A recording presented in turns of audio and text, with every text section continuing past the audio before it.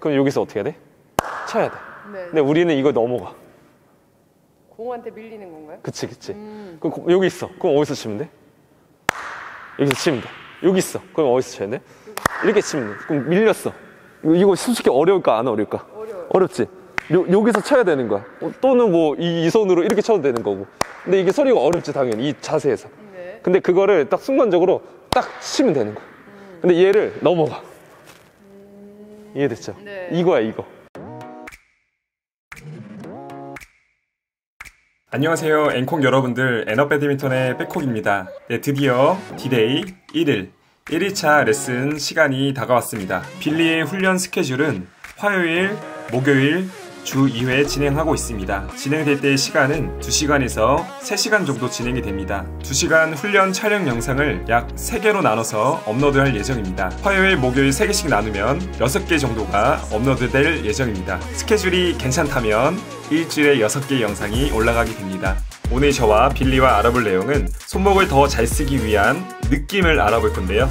앵콩 여러분들 다들 박수 잘 치시죠? 박수 치는 느낌만 안다면 손목 쓰는 그 임팩트의 느낌을 더 잘 알 거라 생각이 듭니다. 손목을 잘 쓰기 위한 첫 번째 단계, 박수 치는 느낌. 오늘 레슨 영상을 통해서 알아봅시다. 기본 클리어가 잘 안 되면 음. 이것도 힘든가요? 그렇겠지만 당연히 어, 밀리는 거는 무조건 손목이야. 무조건 손목이. 어깨 빼고 나가고 이런 거랑 그런 것은 부가적인 거야. 나는 근데 이렇게 설명하고 싶긴 한데. 네그 얘가 손목이 세게 치는 게 중요한 게 아니라 이 맞히는 느낌을 알아야 돼. 타이밍 타이밍. 그래서 sweet spot 또 뭐? sweet spot sweet spot? 오케이, sweet spot 좋아. 자, 일단은 잘 맞는 지점이 있어야 된다 느낌을 알려면은 네. 일단 이렇게 내려놔. 어. 가장 중요한 게 박수라고 생각하면 돼. 박수 쳐봐. 음. 그, 그러면은 이- 이렇게 한번 이렇게 손 대봐요. 가- 이렇게 딱 박수 치게끔 있어요. 네, 제가 이렇게 쳐볼게요. 딱 힘 주고 있어봐. 그치. 이게 내가 내, 내 자신이 치면 이게 박수가 되잖아. 네네 근데 이게 어떤 거라고 생각하냐면 여기 있어. 네네 그럼 여기서 어떻게 해야 돼? 쳐야 돼. 네. 근데 우리는 이거 넘어가. 공한테 밀리는 건가요? 그치, 그치. 음. 그럼 고- 여기 있어. 그럼 어디서 치면 돼? 여기서 치면 돼. 여기 있어. 그럼 어디서 쳐야 돼? 이렇게 치면 돼. 그럼 밀렸어. 이거, 이거 솔직히 어려울까, 안 어려울까? 어려워요. 어렵지? 요, 여기서 쳐야 되는 거야. 어, 또는 뭐, 이, 이 손으로 이렇게 쳐도 되는 거고. 근데 이게 소리가 어렵지, 당연히. 이 자세에서. 네. 근데 그거를 딱 순간적으로 딱 치면 되는 거야. 근데 얘를 넘어가. 이해됐죠? 네. 이거야, 이거. 이 느낌만 알면 돼. 그러니까 지금 우리가 박수 칠 때 그러면 네. 힘이 필요 있어, 없어? 없어요 그치? 살살 쳐봐. 이 느낌만 알면 돼. 그래서 크리어 칠 때도 이 느낌만 알면 돼. 어, 이 느낌. 이 끊는 느낌. 이런 느낌. 잡아주는 거네요 그치? 얘가 박, 박수랑 똑같다고 그랬잖아. 근데 내가 이렇게 치면은 어, 밀려. 어, 그래서 일단 이런 전체적인 이론을 알아야 돼. 이론을 알고 나서 그 다음 이 손목 쓰는 방법을 이제 배워야지. 근데 이게 느낌이야. 이거를 이게 전부야. 그러면 결국에는 내가 우리 여기도 마찬가지야. 여기도 이따가 해- 나중에 할 거잖아. 하는데 왜 밀릴까? 너무 앞에서 쳐서 그치. 이 공한테 맞게끔 내가 딱 끊어주는 그 느낌을 몰라서 그래. 그래서 이게 다 이론이야. 그래서 박수 치는 걸 항상 기억하면 돼. 근데 박수를 어디서 치냐? 공은 항상 무술이 다르잖아. 네네 그럼 이쪽에 있으면 여기서 잘 쳐야 되고 여기 있으면 여기 잘 쳐야 되고 그래서 힘으로 접근하면 안 돼. 어, 손목 쓰는 연습을 할 건데 일단은 먼저는 손목은 어떻게 이루어져 있냐면 이 범위 범위로 이루어져 있어요. ROM 어, 아, 영어, 어, 나 좋아요. 범위인데 이 범위는 얼만큼 내가 많이 움직이냐가 중요해. 어. 그럼 얘가 나중에 많이 움직이면 움직일수록 어때요? 각도도 좋을 거고, 그치? 각도도 좋을 거고, 힘도 어때? 많이 받, 받겠죠. 어. 그래서 힘이 없는 사람들은 이 힘이 없는데도 이 각도도 없으면, 이 범위도 없으면은 그거는 아예 끝이야. 그래서 제공이 어, 그치. 팔 펴고. 어, 그치. 펴서. 어. 그래서 이거를 범위가 될 수 있게끔 많이 연습을 해줘야 돼. 계속 이렇게 연습하면 그치. 어, 계속 연습. 그리고 공을 쳤을 때 이 범위가 들어와야 돼. 어, 그치. 갔다 오면서 아까 그 박수 치는 느낌 있죠. 그거를 뭐라고 표현하면 이제 임팩트라고 표현을 하는 거지. 근데 임팩트라는 게 무조건 센 것도 중요하지만 얼마나 잘 맞히냐가 중요하거든요. 그래서 이 범위가 있고요. 그 다음에 그 범위에서 얼마나 잘 잡아주냐. 잘 그치. 뒤에서 멈추냐? 아니면 앞으로 더 끌고 오면서 멈추냐? 그 타이밍의 문제는 훈련을 많이 해야 되는 거죠. 그래서 일단 오늘은 손목을 쓰는 방법을 할 거예요. 그럼 우리가 지금 뒤로 넘어가는 공을 쳐야 되잖아. 네. 그러면 일단은 가볍게 우리 손목부터 풀어봐. 50개. 정해주고 하는 거야. 50개. 힘든데요. 지금 보잖아, 봐봐. 네. 근데 저 봐봐요. 안 넘어가요 거기까지. 근데 근데 뭘로 하는 것 같아? 힘으로. 그치 이게 아니라 일단 반동으로 어떤 느낌으로 생각하면 이 어깨 있잖아요. 네. 이 어깨를 봐봐. 그 손목 관절은 팔꿈치는 못 움직여. 네. 어깨만 움직일 수 있어. 네. 얘는 힘 빼는 거야. 그럼 제가 움직여 볼게요. 힘 빼봐요. 이런 느낌 나와야 돼. 팔꿈치 팔꿈치 구부리지 마. 어, 어깨만. 그치? 이런 느낌. 근데 손목 너무 힘주 힘 빼, 너무 힘 빼면 다치니까 살살 힘 살짝 주면서. 그치? 이런 느낌이야. 그럼 아까 봐봐. 이건 누구 힘으로 움직이는 거고. 이러면 내가 힘을 활용을 못 하는 거야. 그 반동의 힘을 활용을 해야 돼. 그래서 배드민턴도 보도 받아서 이런 치는 느낌이지 내가 힘으로 밀려 그러면 안 돼. 예, 그러니까 맨 처음에는 반동으로 빼면서 그러면 좀 추가해서 아까처럼 봐봐. 이런 느낌이 아니라 어떤 느낌? 흘러가는 느낌. 그치? 어.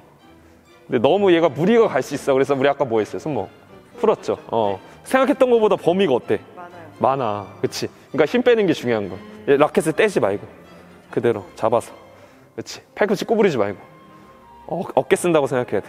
왜냐면 공칠 때도 팔꿈치로 치는 게 아니라 팔을 최대한 펴서 마지막에 펴서 어깨랑 손목이랑 치는 거거든요. 어, 팔꿈치 계속 구부린다. 내려서. 그치? 왜 안 내려간대, 라켓이? 됐어. 풀어. 팔 풀어. 개혁인 공 어디서 쳐야 돼? 위에서 쳐야 돼. 그러면 들어, 들어서. 귀 붙여야 돼. 어, 귀 붙이는 게 중요해. 어, 그치. 떨어져서 이거는 많이 못할 거야. 그러면 이거 하다가 힘들어. 그럼 여기서 멈추는 게 아니라 또 뭐 해야 돼? 내려서. 계속 해줘야지. 그치. 자, 들어서. 자, 50개. 어. 근데 봐봐, 걔도. 저 봐봐요. 힘으로가 아니라 좀 이렇게 반동으로. 라켓 놓지 말고. 팔꿈치 구부리지 말고. 힘 빼봐. 어, 이 내려놔, 그냥. 내려놓고 잡아. 라켓은 놓지 말고. 잡아, 라켓은 항상. 내려놔, 근데 손목은. 내려놔, 그치. 봐봐. 이 팔꿈치 구부리지 말고 어깨로 움직이는 거야. 이런 느낌으로. 라켓, 라켓 떨어뜨리지 마. 그치. 얘가 잡아, 잡아, 잡아. 그치. 얘를 너무 이렇게 떨어뜨려. 떨어뜨리면 안 돼. 잡고서, 그치. 잡고서 그대 손목만, 팔꿈치 또 구부려진다. 어깨로만. 그치. 반동으로만. 안 내려가지. 내려가는 거 해야 저 봐봐요. 저 어때요? 내려가요. 이거 이렇게 놓지 말고 손목으로 움직여야 돼. 이거는 보통 몇 세트를 하는 게 좋나요? 하루에? 어, 50개씩 그치. 3세트? 우리 100개씩 했던 것 같아, 맨날. 100개씩 10번? 10번이요? 음, 1000번 안에 보네요. 그치. 천 번만 갔다가도 부- 부족하죠. 계속 흔들어야 돼. 자, 그리고 이제 위에서 하면 너무 힘들잖아. 그럼 꿀팁 알려주면은 그냥 내려서 하는 거야. 내려서 흔들어. 많이 많이 움직이는 게 좋아, 일단은. 그냥 내가 힘이 아니라 이게 그냥 반동이야. 예, 얘를 그냥 잡지 말고 얘가, 음, 얘가 움직일 수 있게끔 놔두고 지금 뭘로 흔들어? 자꾸 뭔가 보면, 느낌이 보면 저 봐봐요? 좀 어때, 팔꿈치가? 이러면 안 돼. 팔은 펴야 돼. 쭉. 그치? 그치. 팔은 펴줘야 돼. 다 공칠 때 봐봐요. 펴줘야 돼. 팔이 쭉. 어, 드라이브 칠 때도 봐봐요. 반동을 받기 위해서 받는 거지. 팔은 항상 펴줘야 돼. 백핸드 같은 경우는 어느 정도 이렇게 잡아줘. 왜냐면 엘보가 올 수 있기 때문에 좀 잡아주지만 포핸드 같은 건 다 펴야 돼. 뭐 가까이 있을 때 뭐 당겨서 칠수 있을 때도 있겠지만 팔꿈치 계속 움직이잖아, 지금. 그치. 이 어깨로 자꾸 움직이는 연습해야 돼. 그리고 손목은 뭐하고? 힘 빼주고. 좀 이런 느낌으로. 자꾸 팔꿈치를 쓰지 말고. 힘 전달이 안 돼. 예, 그치. 항상 팔꿈치는 쭉쭉 펴주고. 음. 그리고 얘 손목으로 지금 힘들잖아요. 그죠? 그럼 얘는 악력이 약한 거야. 그러면 그냥 안 떨어지게만 해주고 어깨로만 움직여주고. 이런 느낌만, 아, 느낌을 아는 게 중요해. 그리고 더 빠질 수 있을 것 같은데? 그치, 더 빠질 수 있잖아. 힘 빼봐. 계속해요. 더 얘가 더 안 가잖아. 그러니까 힘을 준다는 거야. 예, 왜냐면 범위를 막잖아 여기서. 힘을 뭐 해야 돼? 빼줘요. 빼줘야지 이거 그치 반동이 되지. 그러니까 여자 초등학생들도 어떻게 할 수 있다? 보내는 게 이거를 활용해서 그래. 그러니까 지금 어떤 느낌이 가장 가깝냐면 그냥 힘 빼는 게 가장 가까워. 그치 이런 느낌이 가- 가져갖고 더 뒤로 가, 야 되는데 그치 이렇게 그치 그치 이 범위가 나와야 돼 더 나와야 돼 원래는. 그치? 근데 막 인위적으로 하는 게 아니라 어, 팔꿈치! 팔꿈치 그냥 저한테 나 기대요. 떨어뜨려 어깨 떨어뜨려. 어, 그치? 이런 느낌 나와야 돼. 그리고 제가 어 왜 안 안 떨어져 같이? 어? 기대요 기대. 어. 기대 그냥. 그치? 팔꿈치 톡 구부러진다. 어 그치? 어 이런 느낌 이런 느낌. 이런 느낌 나와야 돼. 오케이? 어. 이걸 이제 써야 돼. 얼마나 훈련 많이 해야겠어 그러니까 저기서 보내는 거는 이런 자세도 있겠지만 그래서 운동신경 이런 거를 좋은 사람들은 뭐예요 잘 쳐 코치가 잘 가르치는 건 난 사실 모르겠어 그렇지 않아 잘하는 사람들은 잘해 네. 근데 이런 디테일한 것들은 훈련을 해야지 못하는 사람들도 다 잘할 수가 있어. 어, 잘하는 사람들 물론 이렇게 하면은 이해가 자- 좋잖아. 이런 거를 안 되는 사람들은 진짜 이론적으로 설명을 해야 된단 말이야. 맞아요. 또 지금 손으로 뺀다.